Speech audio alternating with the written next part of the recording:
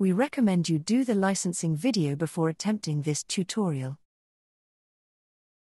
If you own over 50% of a company, you can license any design that the company makes, free of charge.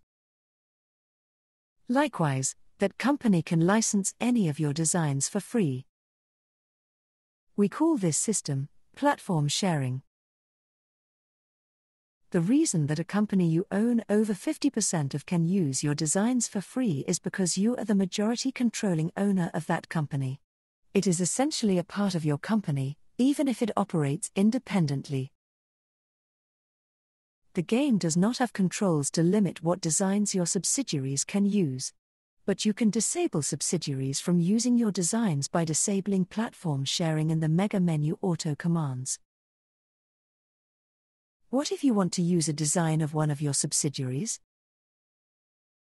Visit the R&D department.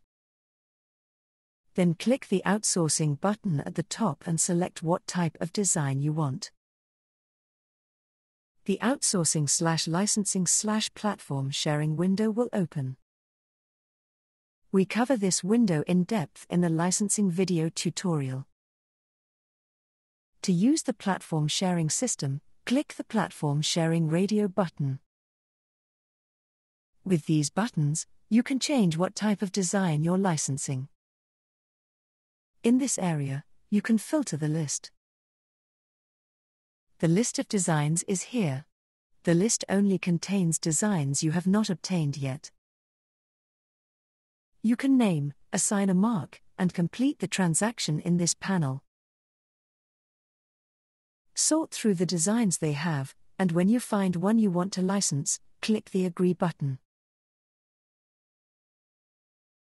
From there, you have licensed the design from the company for free. The design works like any other design in the game.